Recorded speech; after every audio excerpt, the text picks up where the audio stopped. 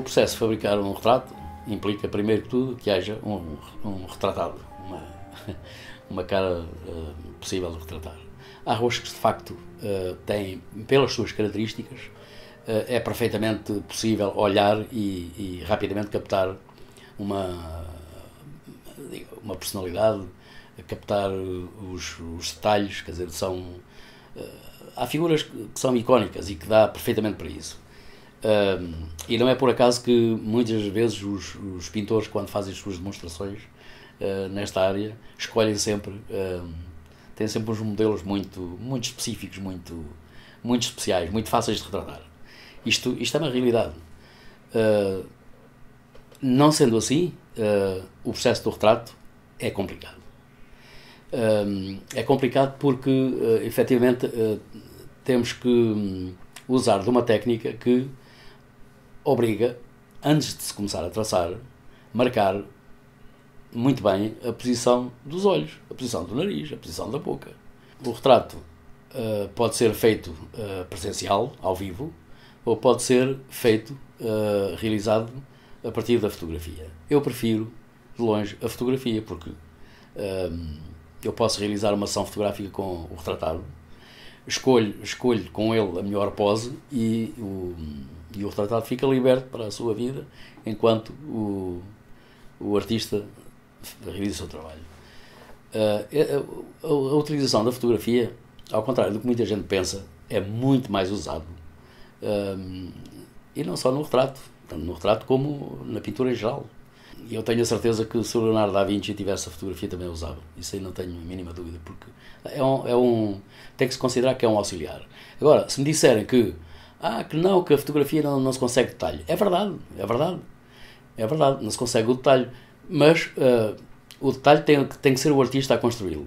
E aí entra sim, uh, depois de, de, de, fazer a primeira fase, de, de desenhar a primeira fase do retrato, o artista, se tiver a possibilidade de ter o retratado por perto, é óbvio que isso depois vem ajudar a construir os detalhes.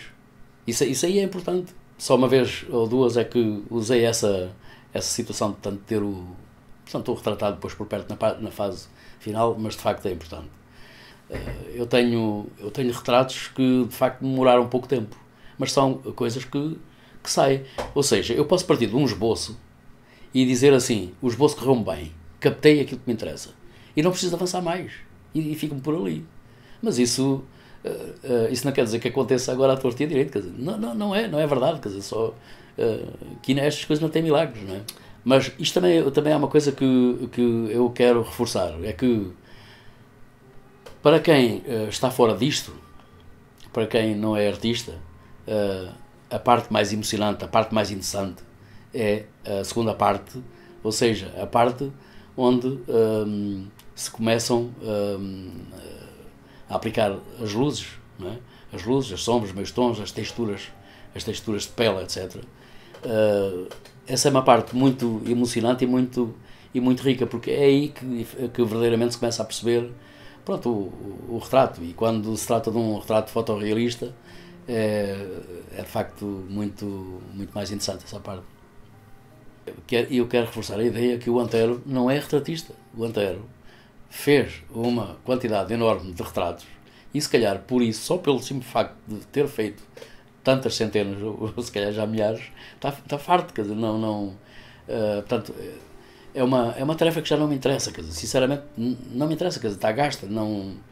Uh, o meu objetivo foi reaprender a desenhar.